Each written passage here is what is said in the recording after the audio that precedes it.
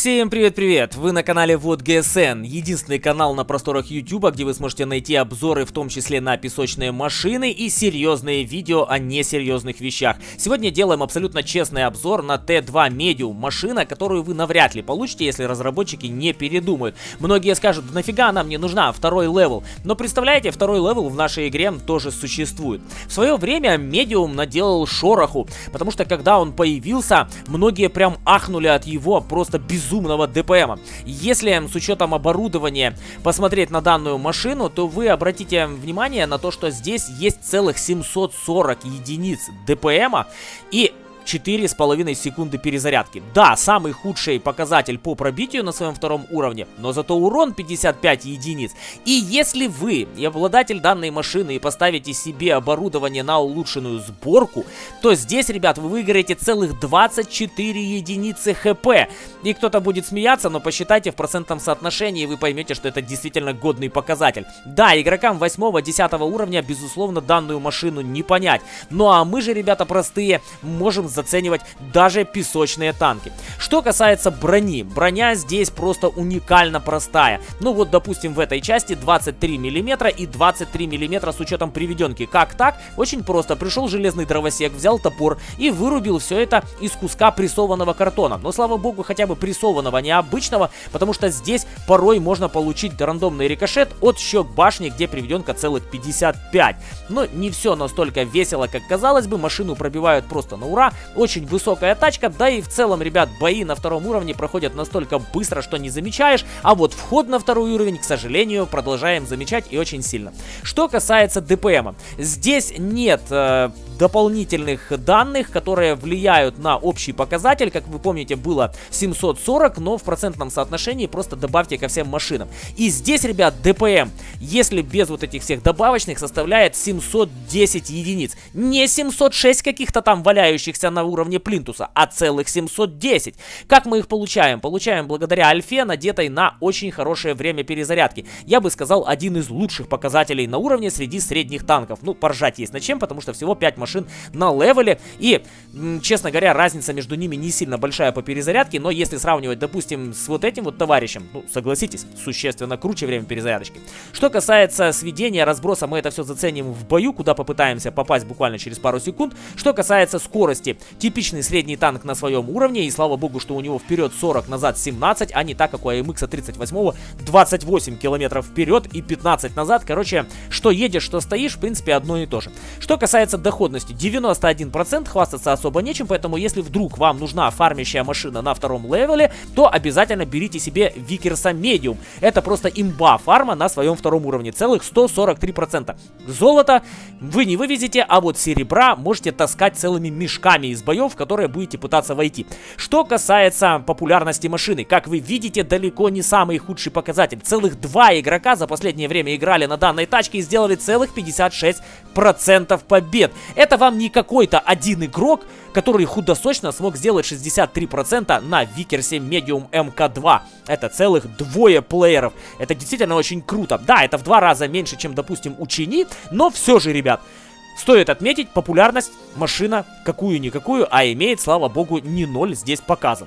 Ладно, обсудили технические моменты по машине, обсудили сравнительные таблицы, посмотрели броню.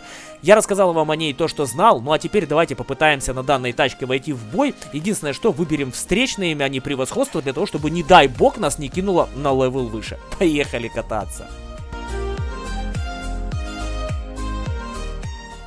Ну как же, как же все-таки хорошо, что в бой можно заходить такое большое количество времени. Я пропылесосил, помыл посуду, сходил в магазин, помыл окна на балконе и покормил кота. Просто супер, великолепно. Теперь у нас есть единственная возможность, единственный шанс затестить нашего героя в реальном бою, потому что еще раз моя нервная система не выдержит захода в бой. И по правде говоря, я считаю, что все мои героические страдания для того, чтобы зайти все-таки в эту катку и показать вам машину, они достойны вашего лайка и уж тем более достойны ваших подписок, если вдруг идея с обзорами на танчики нижних уровней вам интересно. Поэтому, ребят, поддерживайте канал в его развитии, ставьте лайкосы, пишите свои комментарии. Короче говоря, делайте все возможное для того, чтобы популяризировать видео. Я вам буду только признателен. Что же касается нашего героя. Мало того, что долго в бой входили, так меня еще и подглючивать начинает довольно-таки серьезно. Беда бедовая, прям косяк на косяке. Но в то же время свой великолепный ДПМ я сейчас максимально пытаюсь реализовать. Пытаюсь реализовать свою пускай не самую уникальную скорострельность, но довольно неплохую альфу, которая суммарно дает шикарные 740 единиц ДПМа. И как видите, аккуратно играя на данной машине, пускай даже дергаясь как паралитик в бою, в целом можно еще и выжить, скорее всего, если, безусловно, получится. Сейчас помогу нашим вот этим двум товарищам разобраться с вот этим вот. Где он там делся? Ладненько. Бросаем это гиблое дело. Жаль. Жаль, что я у себя на канале ничего не вырезаю и показываю все таким, какое оно есть на самом деле в нашей игре. Возможно, кому-то сейчас очень сильно режет глаза то, что происходит на экране, но это правда жизни вторых уровней. Почему нет? Такс. Поехали. Поехали сейчас вот этого наглеца накажем. Не хватит мне, скорее всего... А, ну, сейчас уже хватило бы альфы для того, чтобы его забрать, но добрали до меня. Короче говоря, ребят, понятное дело, что это далеко не имба на своем уровне и далеко не фармер, как бы смешно это ни звучало. Это просто машина, которая есть в нашей игре, и ей стоило уделить внимание для того, чтобы она все-таки осталась в истории, для того, чтобы вдруг кому-нибудь понадобится видео по поводу данной тачки, хотя в этом очень сильно сомневаюсь, ее все-таки смогли найти. Но она же существует у нас в игре. Почему не уделить ей какие-то полчаса, час времени времени на то, чтобы записать данное видео и не выложить его в YouTube, чтобы оно осталось, ну, я бы сказал, просто как в библиотеке. Я пытаюсь собирать библиотеку видео на все машины, которые есть в нашей игре, и рано или поздно этот титанический труд я все-таки закончу. Мой проект увенчается успехом, и мне останется снимать только про те машины, которые выходят новыми в игре. Да, я его доберу, пожалуйста. Будь человеком. Ай, ладно. Не добрал, да и не добрал, не сделал ни одного фрага, но какого-то урона набросал. Давайте ради интереса посмотрим на мою результативность. К сожалению, во вторую катку мы с вами не пойдем. Как я уже сказал, моя психика этого не выдержит. Ну, а с учетом того, что по хозяйству все дела я уже сделал, так тем более мне это время коротать негде будет, поэтому, скорее всего, займусь чем-нибудь более интересным.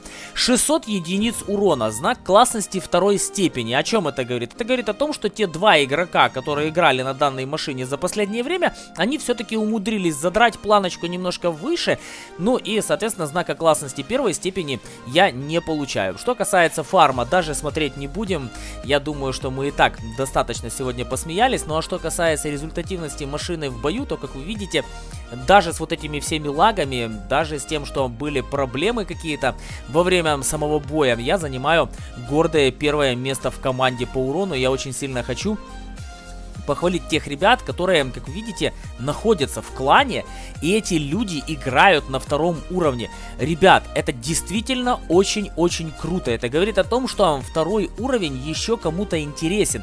Я сомневаюсь в том, что эти игроки состоят в клане, на исключительно вторых уровнях играя. Скорее всего, этих игроков есть какие-то другие машины. Вот это вот явно боты. Ну, просто потому что навряд ли есть на сегодняшний день, тем более в преддверии кланового ивента, есть большое количество игроков, которые в клан не вступили. Ну, а эти же игроки, мне почему-то кажется, являются реальными людьми. Давайте ради интереса посмотрим на вот этого вот товарища. Мне просто вот чисто для себя, что называется, посмотреть. У человека 24 700 боев. 54,7, практически 55 процентов побед. Как вы думаете, он зашел в этот бой для того, чтобы за стату за свою попотеть, серебра заработать? Или человек просто понимает смысл в танках и понимает, что основная идея этой игры получать удовольствие. Я очень сильно надеюсь, что разработчики сделают что-то с тем, чтобы в бои можно было заходить не так долго, как это было сегодня у нас на обзоре. Я снимаю специально для вас, жду в виде благодарности э, и, скажем так, отметочки за мои труды. Ваши лайки, комментарии и обязательно подписывайтесь на канал для того, чтобы не пропустить следующие видео. Кроме того, ребят, оставляя комментарии под данным видосом, вы автоматически, раз...